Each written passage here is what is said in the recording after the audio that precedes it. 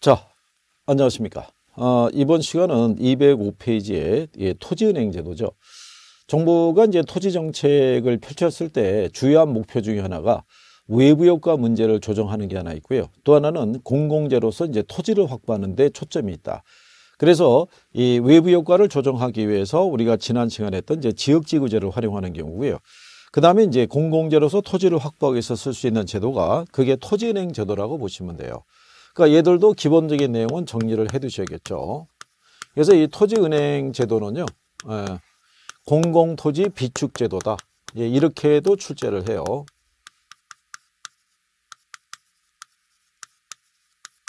그러니까 이 토지은행 제도라는 것은요, 제도 자체는 상당히 좋은 제도라고 할 수 있죠.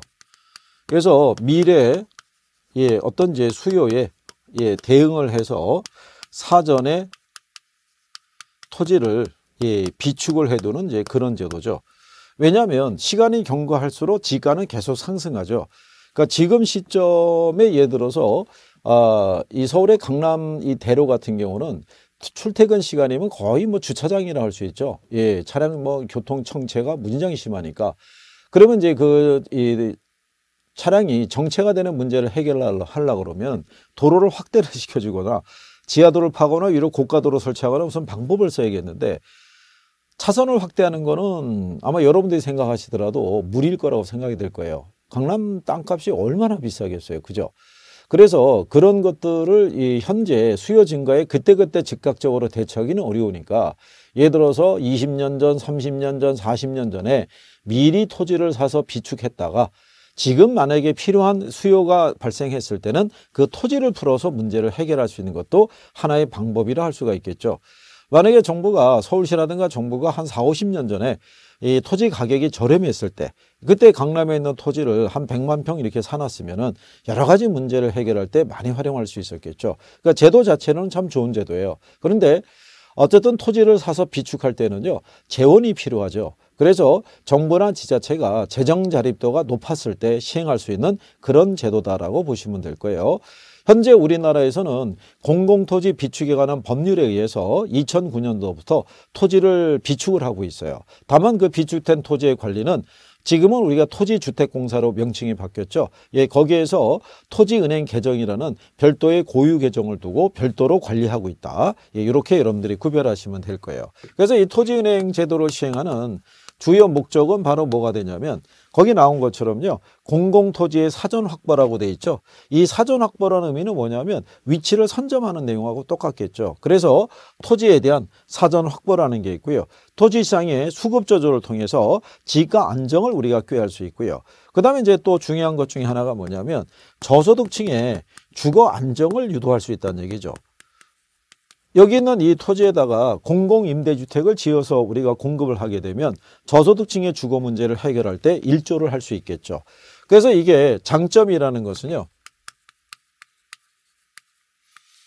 사전에 토지를 사서 비축을 했기 때문에 투기 수요를 억제하고요. 수급 조절을 위한 토지시장의 안정을 우리가 도모할 수 있고 그 다음에 공공개발용지를 예, 적시에 원활하게 공급할 수 있다라는 얘기고요. 그리고 보상비가 절감이 되죠. 미리 사전에 토지를 확보했으니까 토지 수용에 따른 보상 문제가 해결이 될 수 있죠.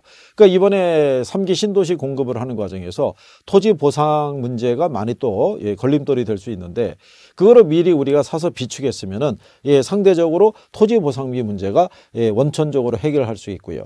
공적 주체에 의해서 토지를 확보했으니까 무질서하고 무계획적인 토지 개발 방지가 가능하다 이런 얘기죠. 그러니까는 장점이라는 것이 예, 상당히 좋다라고 할 수 있죠. 근데 단점을 우리가 보시게 되면 예, 연상을 해보시면 사서 비축하려고 그러면 비용 문제가 발생하죠. 그래서 재원 조달에 관한 이제 문제가 발생하고요. 그 다음에 토지를 사서 비축을 한 다음에 바로 활용하는 게 아니라 일정한 시간이 지나지만 토지를 활용한다는 면이죠. 그러니까 그 사이에 관리에 대한 문제가 또 뒤따른다 이런 얘기죠. 이거를 나대지 상태로 방치를 하게 되면은요.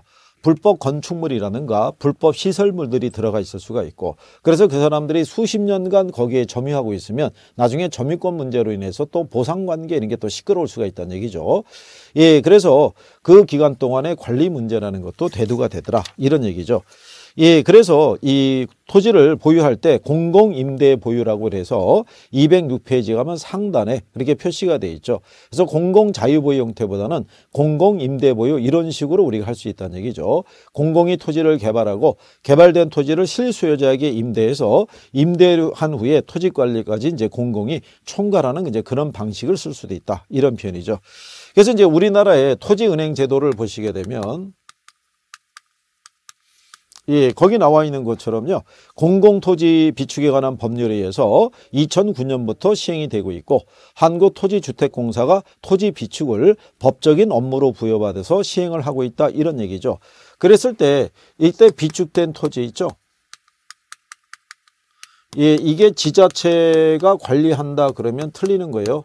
이건 전부 다 예, 토지주택공사가 관리하도록 돼 있다 이런 얘기죠. 이게 시험에 한번 나온 적이 있어요. 비축된 토지를 지자체별로 관리하기 때문에 효율적인 관리가 가능하다 그러면 틀린 내용이다 이렇게 여러분들이 생각을 하시면 되겠고요.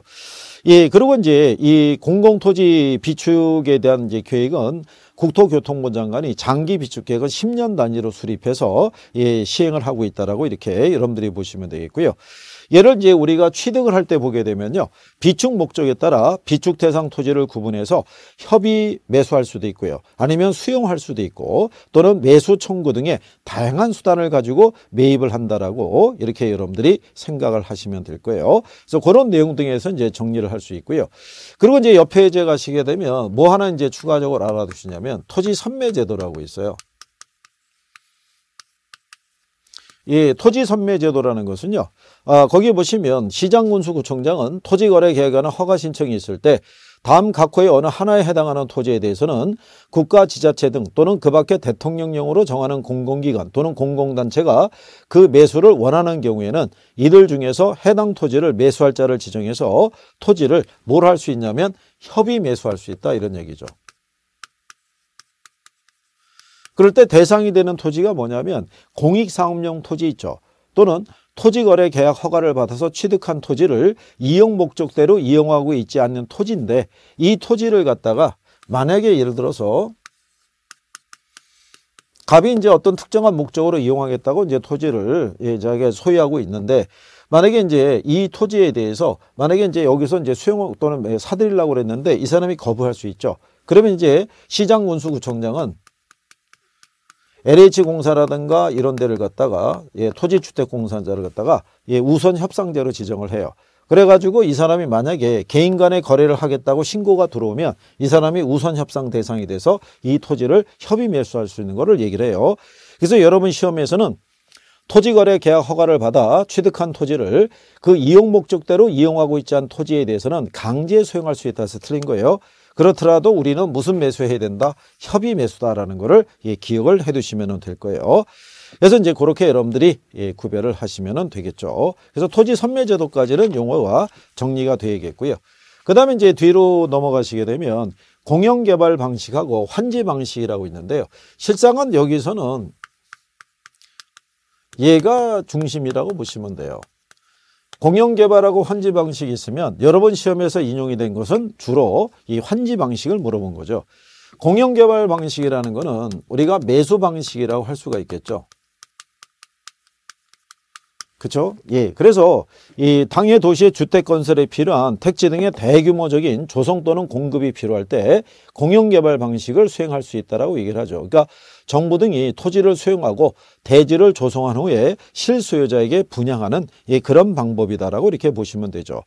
그래서 이 공영 개발도요 민간 개발하고는 달리 사회적인 편익을 우리가 예, 분석을 하죠. 그래서 사회적 편익이 비용을 초과한다 그러면 예, 공영 개발에 대한 타당성이 있다고 보고 사업이 추진이 되더라 이런 얘기죠.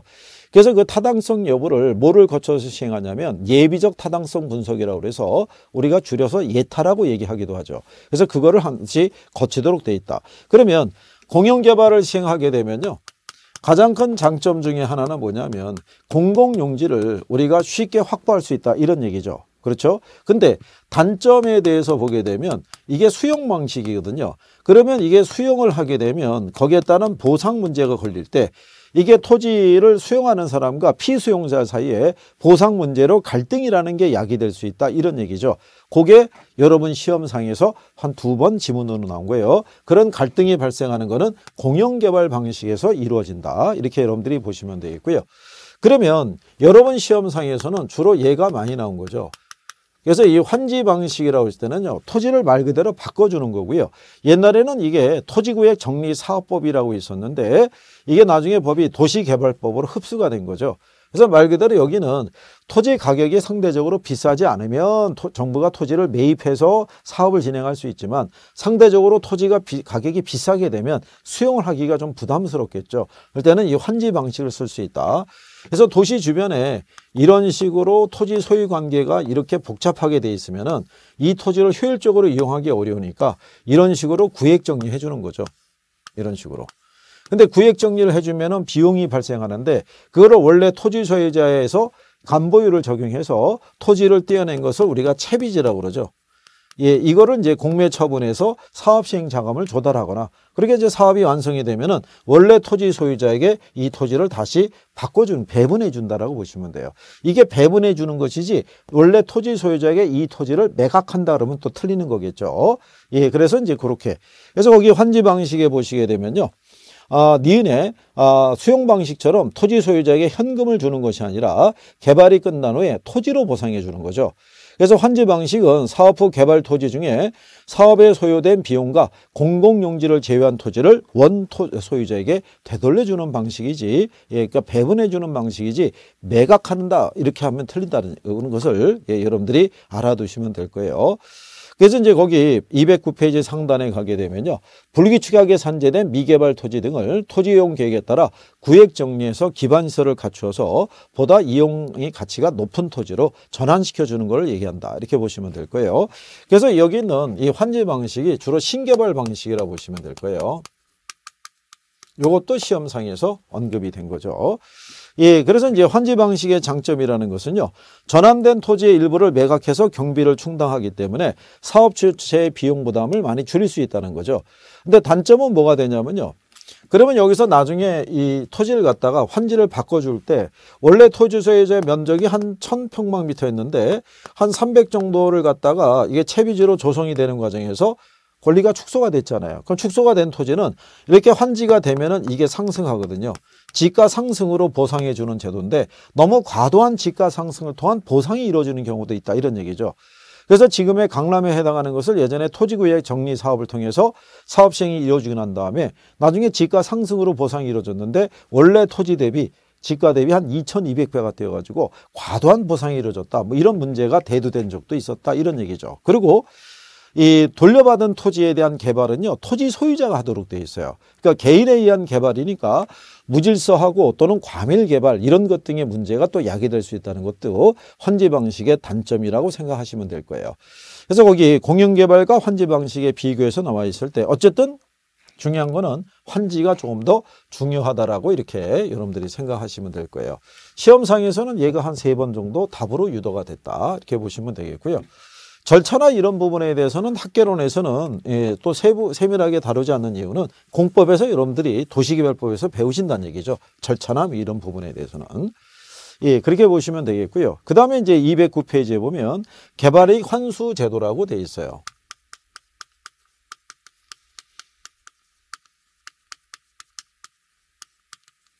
예, 거기서 보시면 개발 이익이라는 것은요. 개발 사업의 시행이나 토지용 계획의 변경, 그 밖의 사회적 경제적 요인에 따라 저가 정상지가 상승분을 초과해서 개발 사업을 시행하는 자나 토지 소유자에게 기속되는 토지 가액의 증가분을 얘기를 해요. 그죠? 그래서 정부는 이런 개발 사업을 통해서 발생하는 요 개발이익 있죠. 이거를 뭐 하냐면 환수하죠. 이거 환수할 때 뭐를 부과하냐면 개발 부담금을 부과한다라고 생각하시면 돼요. 그렇죠? 그래서 이 개발부담금은 정부의 간접적인 시장 개입이라고 얘기를 했던 거고요. 209페이지 밑에 가게 되면요. 세 번째 줄에 지문 3번이 있죠. 그래서 국가는 공공기관의 개발 사업 등으로 인해서 토지 소유자의 노력과 관계없이 정상지가 상승분을 초과해서 개발이익이 발생할 때 이를 개발부담금으로 환수할 수 있다라고 얘기해 주는 경우죠. 그럼 우리가 왜 개발이익을 환수해야 되냐면 일종의 불로소득이라는 거죠. 그렇죠. 토지 소유자의 노력에 의해서 이익이 발생하는 게 아니라 공적인 주체가 개발 사업을 이제 추진하는 과정에서 얻게 되는 일종의 불로소득이니까 환수해야 된다라고 얘기하는 경우죠. 예, 그래서 거기 이제 여러분들이 보시면은 이 개발 이익 환수에 관한 법률이라고 참고가 있을 거예요. 거기 1번에 개발 이익 있죠. 예, 그게 이제 시험상에서 지문으로 한번 이렇게 등장하게 된 거죠. 그래서 그렇게 보시면 되겠고요. 이 법률에 의해서 우리가 부가 징수하는 금액을 개발 부담금이라고 생각하시면 될 거예요. 정부의 간접 개입 방법이다. 이렇게 말씀드린 거죠. 그 다음에 이제 옆에 그 페이지에 가시게 되면 토지 공개념 제도라고 있어요. 아, 토지 공개념이라는 제도는요. 토지 국유하고는 성격이 좀 틀리죠. 예, 개인의 토지 소유권은 인정해 주지만 그 권리를 행사하는 과정에서는 공공의 이익은 해치지 않는 범위 내에서 예, 권리를 행사해야 된다라고 주장하는 게 토지 공개념적인 사고죠. 그러니까 토지라는 자원은 개인 소유 이전에 자연이 우리 인간에게 무상으로 제공한 공용물이다 이런 얘기죠. 그래서 그런 원리의 바탕을 두고 등장한 게 토지 공개념이고요. 우리나라에서는 1980년대쯤에 아, 토지에 대한 투기 등을 억제하기 위해서 토지 공개념에 관한 3대 법안이라고 있었어요.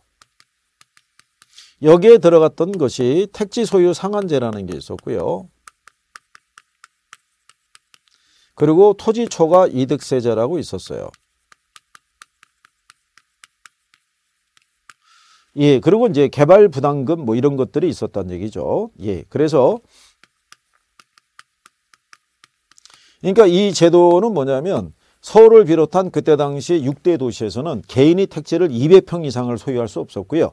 200평을 초과한 소지, 아, 소유한 토지에 대해서 땅값 상승을 통해서 이익이 발생할 거라고 보고 거기에다가는 토초세라고 해서 세금을 우리가 부과했다는 얘기죠. 그런데 이제 이게 우연 시비가 끊이지 않았던 게 아니 자본주의 경제에서 어떻게 개인의 소유권 행사에 제한을 둘 수 있으며 그 다음에 자본주의 경제의 꽃은 부자 아니냐? 그러면 내가 내 자산을 통해서 얻은 이익에 대해서 왜 우리가 그리고 또 발생하지도 않는 이익에 대해서 세금을 과세를 하고 우리가 내야 되느냐?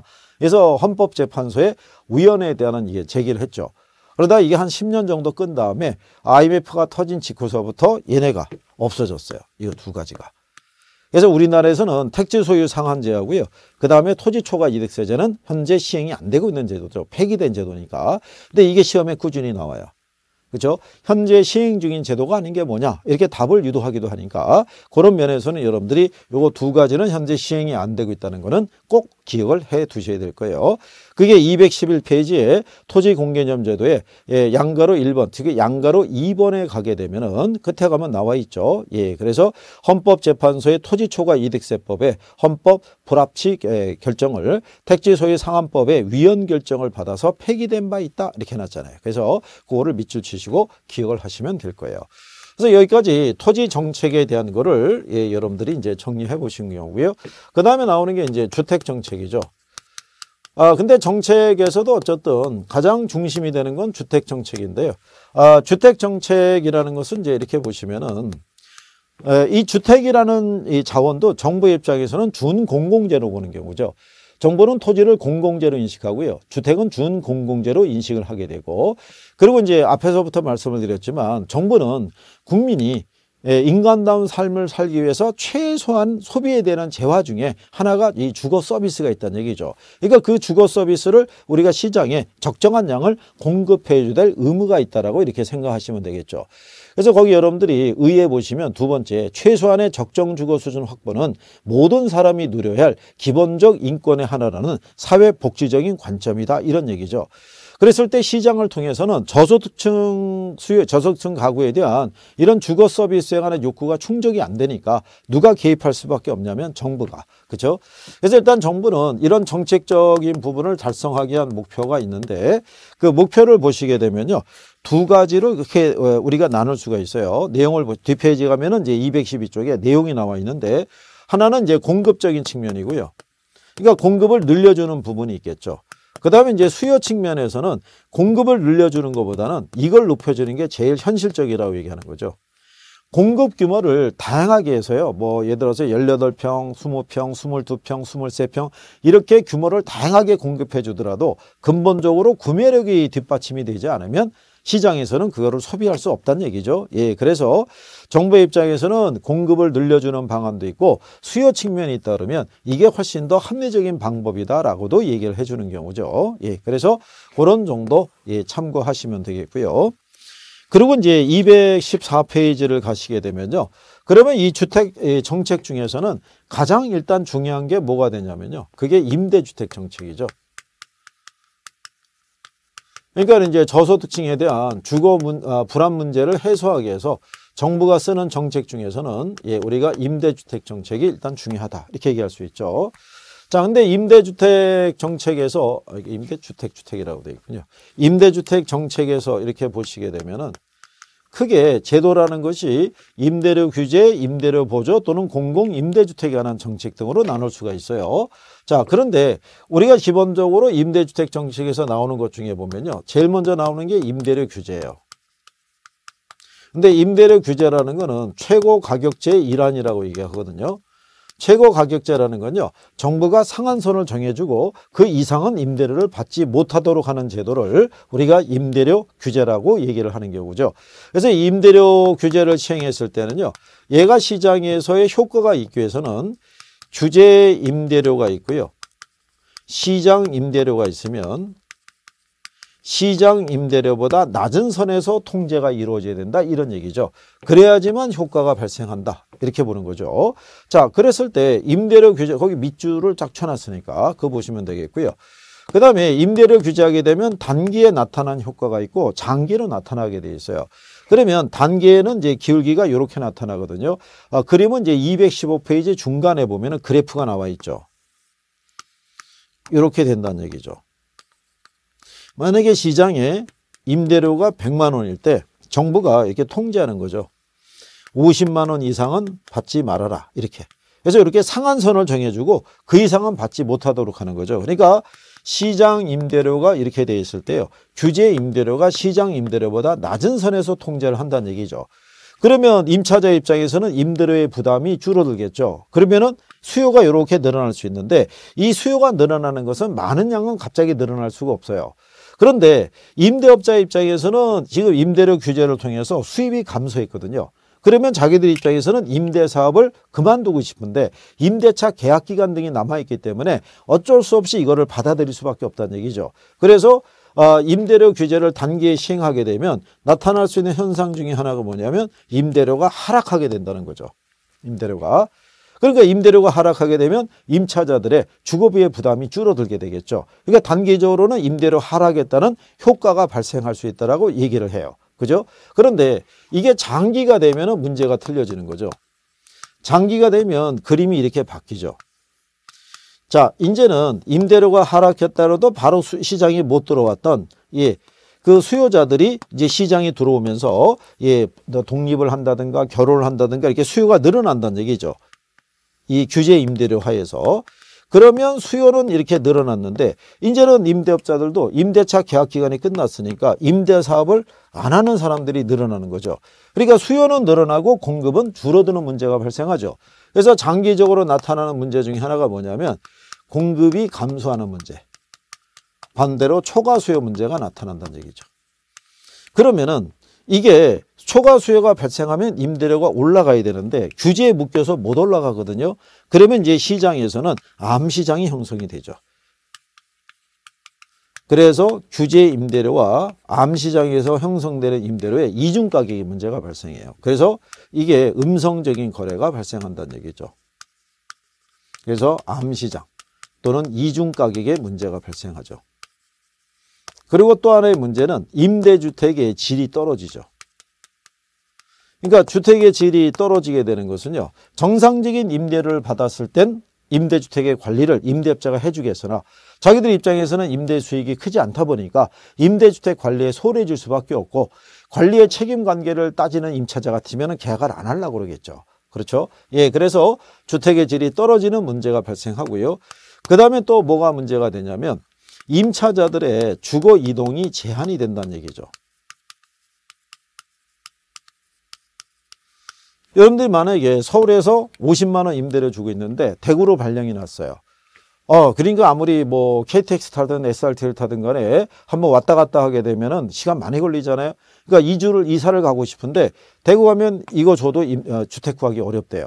그러면 혼자서 원거리를 출퇴근해야 되는 문제가 발생하니까 거기에 따른 교통병의 증가 등에 따른 사회적 부형 부담도 커지게 되고 임차자들에서 주거 이동이 제한되는 문제가 나타나죠. 그래서 이 네 가지가 가장 대표적인 문제라고 할 수 있어요. 그럼 가만히 보시면 단기 장기를 비교하게 되면 문제점이 더 많은 것 같아요. 그죠?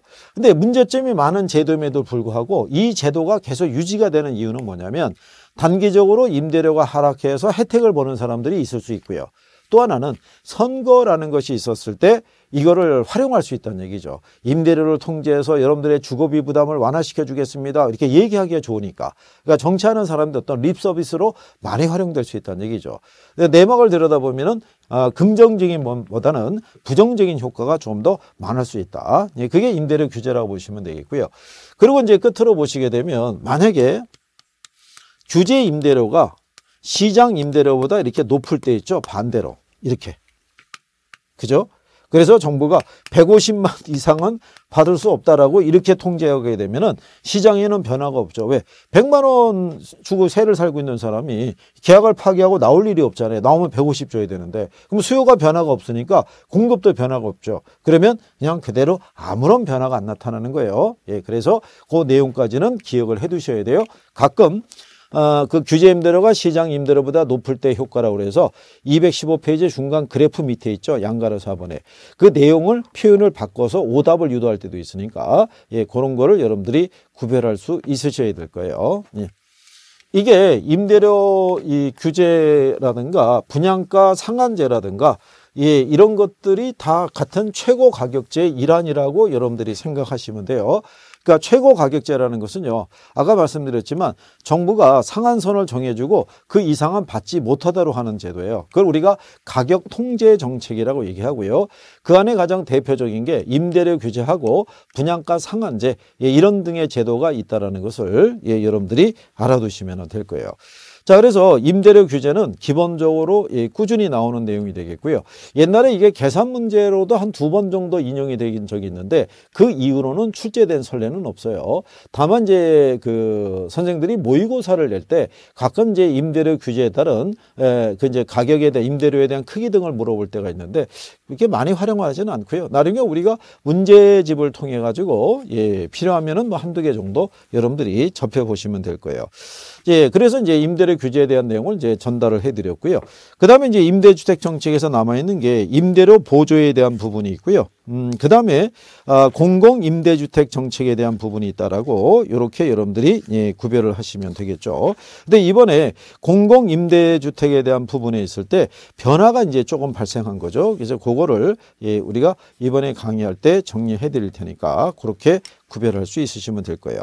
자, 그래서 이제 다음 예, 시간에는 어, 임대료 보조에 대한 거, 그 다음에 공공임대주택 또는 뭐 조세 정책, 뭐 이런 것 등에 대해서 정리해 보는 시간을 갖도록 하겠습니다.